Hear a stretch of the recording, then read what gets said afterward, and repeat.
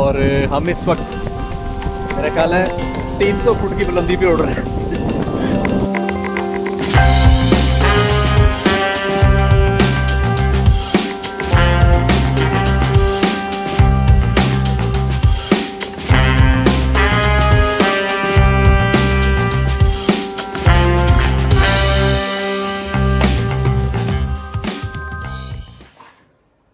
अस्सलाम वालेकुम मेरा नाम है आसिम और आप देख रहे हैं ट्रेवल अफेयर्स मैं माल्टा के टूर पर हूँ और माल्टा सीरीज़ की अगर आपने पहली ब्लॉग देखी है तो आपने देखा होगा कि किस कदर खूबसूरत है सदरन यूरोप का ये छोटा सा कंट्री और अब मैं इसकी दूसरी एपिसोड जो है वो शूट करने जा रहा हूँ।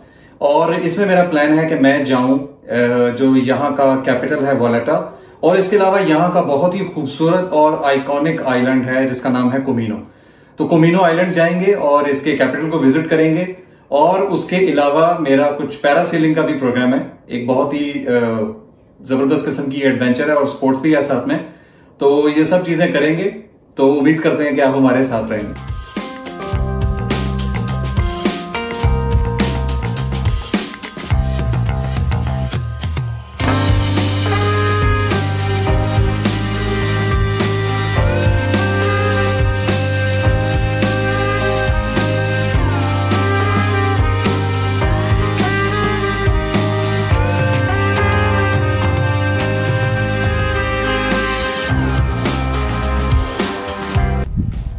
अच्छा जी, हम आए हैं इस वक्त एक जगह पे, यहाँ से हम यहाँ से फेरीज चलती हैं और फेरीज जाएँगी कोमिनो आइलैंड के लिए।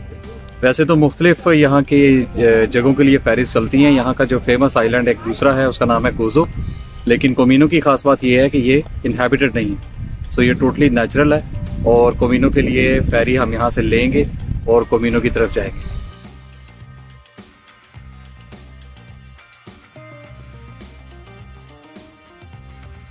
बहुत सारी डिफरेंट कंपनीज़ की जो फेरीज़ हैं, वो यहाँ से चलती हैं और हर आधे घंटे के बाद एक फेरी चलती है। तो आप किसी भी फेरी के साथ जा सकते हैं उसी टिकट के अंदर और किसी भी फेरी के साथ वापस आ सकते हैं। कोमिनो आइलैंड जाने के लिए फेरी की प्राइस है पंद्रह यूरोज़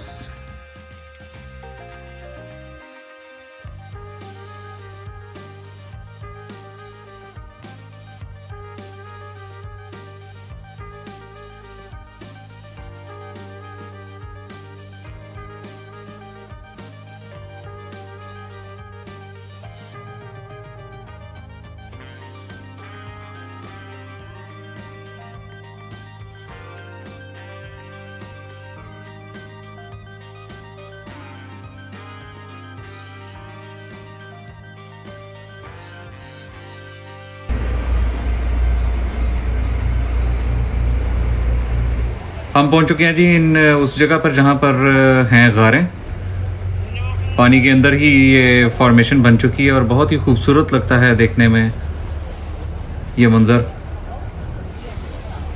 ये सामने आप देख रहे हैं कितनी तेज़ी से जो है वो पानी टकराता है, इनके साथ आके और कटाव पैदा करता है इसके अंदर।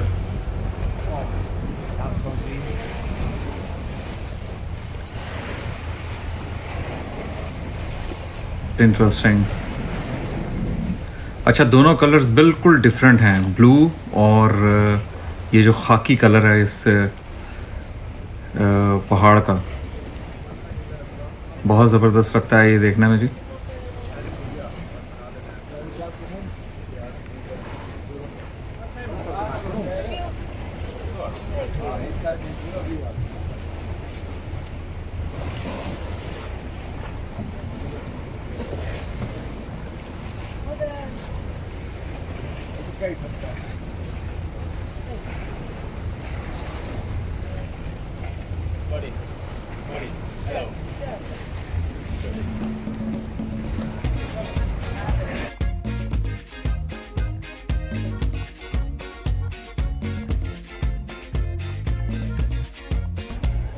बहुत तेज़ धूप है जी लेकिन बड़ी अच्छी जगह है ये बड़ी खुशगवार जगह। और यूरोप का यूरोप कॉन्टिनेंट का ये हिस्सा लगता नहीं है अगर आप इसके लैंडस्केप की तरफ़ देखें तो। ये बिल्कुल एक छोटी सी पहाड़ी है जी, जहाँ पे इस वक्त हमने बोट ने हमें उतारा और इसके ऊपर जैसे आप देख रहे हैं, ये छोटे छोटे स्टॉल्स हैं जिसके ऊपर कुछ डाइविंग का सामान और कुछ एक्स्ट्रा जो बेदिंग के कपड़े हैं वो आपको मिल जाएँगे। इसके अलावा यहाँ पर ये लाइन से सारे के सारे, ये स्नैक्स के लिए आपको छोटे छोटे स्टॉल्स मिलेंगे। तो ये है जी this is all about it और नीचे जो है ये बहुत ही खूबसूरत लगून है बहुत खूबसूरत है ये देखने में। ए, बहुत ज़्यादा अच्छा लग रहा है। इसका पानी का कलर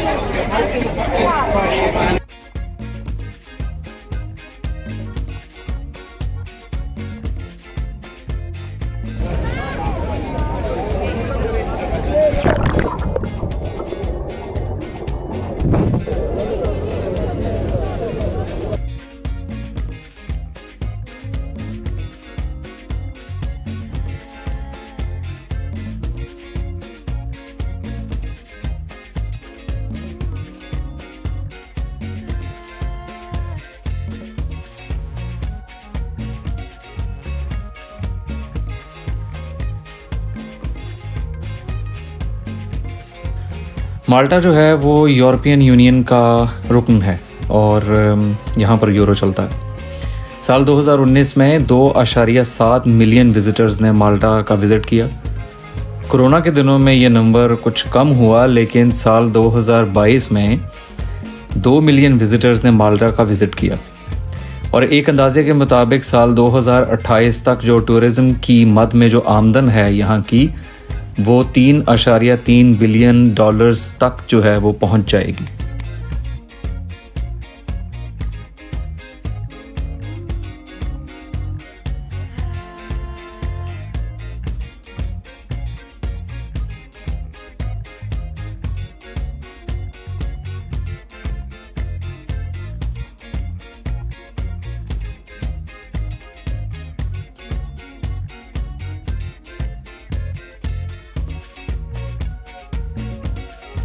पानी का कलर उसकी शफाफियत देखकर बिल्कुल ऐसे लगता है जैसे कोई बहुत बड़ा स्विमिंग पूल है।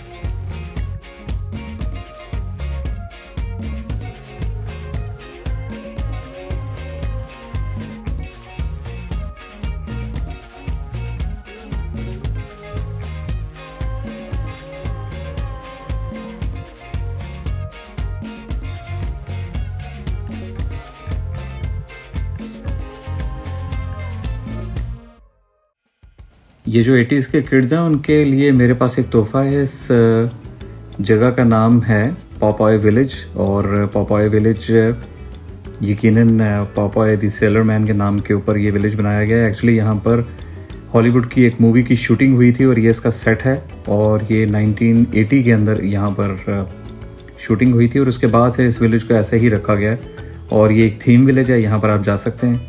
पोर्ट के ज़रिए इसकी एक्सेस है। बहुत खूबसूरत विलेज है जहाँ अगर आपका कभी अगर माल्टा आना हो तो इसको ज़रूर विज़िट करें।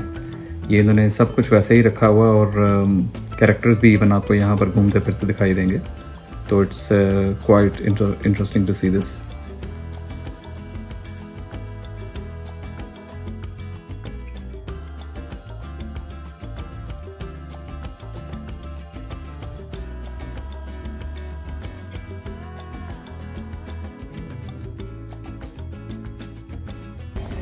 Malta में है बहुत गर्मी और गर्मी को दूर भगाने के लिए हम इसको खड़े हैं एक जूस पॉइंट के ऊपर और हमने अपने लिए कुछ जूसेस लिए हैं और अभी हम एक और एंजॉय करें। अभी हम जा रहे हैं जी पैरासेलिंग करने के लिए।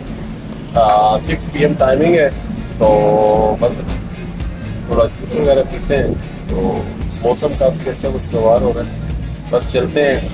पैरासेलिंग का अचानक से प्लान बना सब फ्रेंड्स का तो होपफुली हम इंजॉय करेंगे आज इंशाल्लाह है होपफुली आज का जो है शाम मेमोरेबल हो जाएगी. मैं आया हूँ मिलीहा बीच के ऊपर और मिलीहा बीच से हम करेंगे पैरासेलिंग पैरासेलिंग एक बड़ा ज़बरदस्त एडवेंचर है। अगर आप कभी माल्टा आएँ या किसी भी जगह पर अगर आपको इसका मौका मिले तो इसे ज़रूर एक दफ़ा ट्राई करें। ये बड़ी मज़े की चीज़ है जी, समंदर के ऊपर आपको ऐसे गुब्बारे के साथ बाँध के सैर कराई जाएगी। तो आज हम इस एडवेंचर को करने के लिए जा रहे हैं। तो let's go with us parasailing के लिए आपको बोट में बिठाकर खुले समंदर की तरफ़ ले जाते हैं और उसके बाद बोट को ये घुमाते रहते हैं एक दायरे की शक्ल में। और ऐसे ही आपको राइड मिलती है इसकी। और मेरे साथ इस सफ़र के अंदर मेरे जो बडी हैं वो होंगे मलिक अदनान साहब।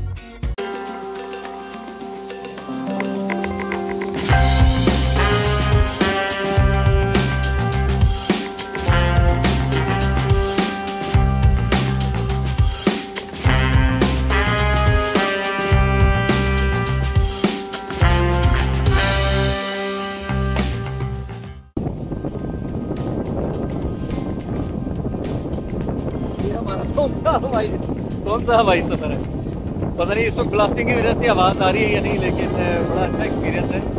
मेरे साथ हैं मलिक इमरान साहब। हेलो और हम इस वक्त, मेरा ख्याल है 300 फुट की बुलंदी पे उड़ रहे हैं। लेकिन बड़ा अच्छा एक्सपीरियंस है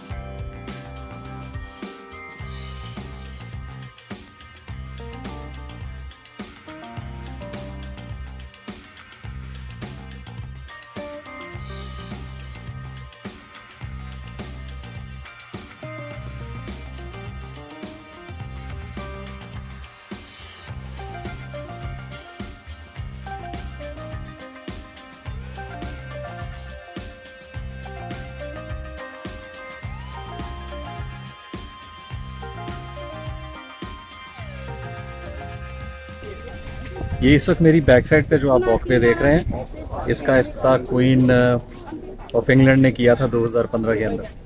और uh, ये कॉमनवेल्थ वॉकवे है और इसके अंदर माल्टा की बहुत ही इम्पोर्टेंट जो लैंडमार्क्स हैं वो यहाँ पर हैं। यहाँ पर माल्टा की पार्लियामेंट uh, की बिल्डिंग है।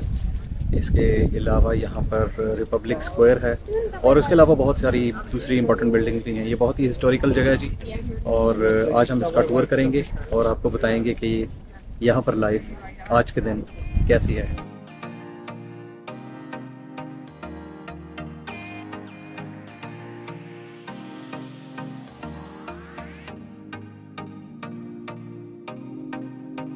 देखने से ऐसा लगता है जैसे आप घूम रहे हैं। इटली के किसी शहर के अंदर यानी मिलान में या रोम के अंदर। और ऑनेस्टली इस शहर इस पूरे कंट्री के अंदर जो इन्फ्लुएंस सबसे ज़्यादा जिस किसी दूसरे कंट्री का मैंने देखा है वो है इटली। यहाँ पर इटालियन टूरिस्ट भरे पड़े हैं और आपको जगह जगह पर ये नज़र आएँगे।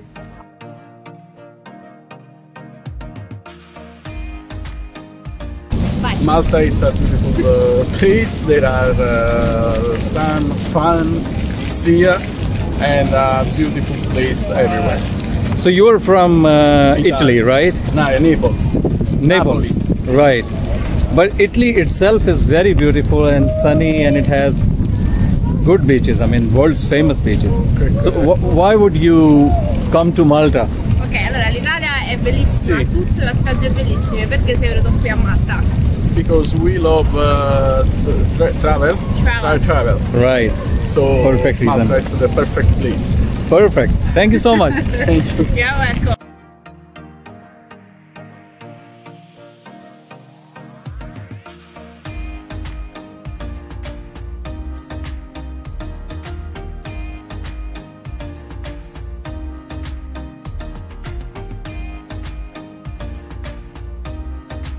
इस वक्त मेरी बैक साइड पर आप जो बिल्डिंग देख रहे हैं, ये आज के माल्टा की जो रिपब्लिक है, उसकी बिल्डिंग है। रिसेंटली इसका अफ्ताह हुआ 2015 के अंदर।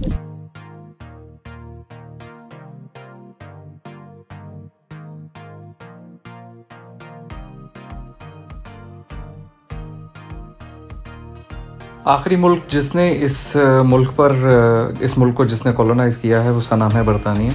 और बरतानिया के इन्फ्लुएंस की वजह से यहाँ पर जो ज़बान सबसे ज़्यादा बोली जाती है आफ्टर माल्टीज़ लैंग्वेज वो है इंग्लिश तो अगर आप बींग टूरिस्ट यहाँ पर घूम रहे हैं तो आपको यकीन कोई मसला नहीं होगा।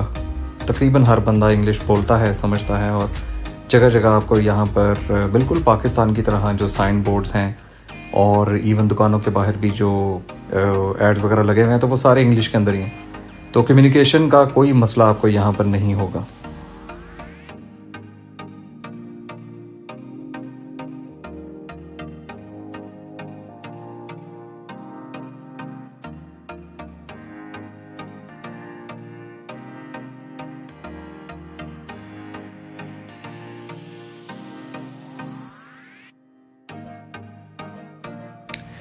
अच्छा एक इंटरेस्टिंग जो फैक्ट है इसके बारे में हिस्टोरिकल फैक्ट वो ये है कि माल्टा एक बहुत ही छोटा सा जजीरा है in the middle of the ocean लेकिन ऑटोमन एम्पायर इसको कभी फतह नहीं कर सकी। यानी सुल्तान सुलेमान जो जब उनके दौर के अंदर समझा जाता है कि जो ऑटोमन एम्पायर है, वो बिल्कुल अपने अरूज के ऊपर थी। तो वो भी, उन्होंने भी इसका मुहासरा किया, उनकी फ़ौजों ने काफ़ी अरसे, काफ़ी माह तक इसका मुहासरा रखा, लेकिन वो इसको फ़तह नहीं कर पाए और ये सक्सेसफुल रहा अपना डिफेंड करने के अंदर, अपनी टेरिटोरी को। जिस वक्त दूसरी जंग अजीम शुरू हुई, उस वक्त यहाँ पर बरतानवी राज था। तो ये इस हवाले से आप इन्हें हमारे भाई भी कह सकते हैं, क्योंकि ये भी एक कॉमनवेल्थ कंट्री है।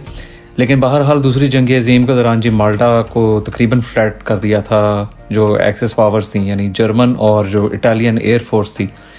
वो इसको चूँकि ये एक ब्रिटिश एयरबेस थी इसलिए यहाँ पर बहुत ज़्यादा बमबारी वो करते थे और इसका बहुत बुरा हाल था।